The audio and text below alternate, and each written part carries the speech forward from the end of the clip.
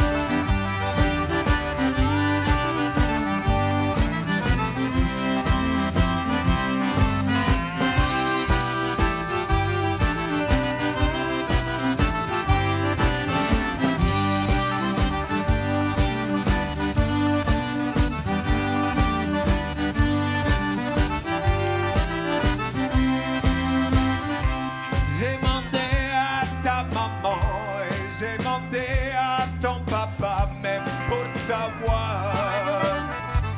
Ils m'ont dit, tu peux la prendre si tu promets de l'amener à Grand Prairie.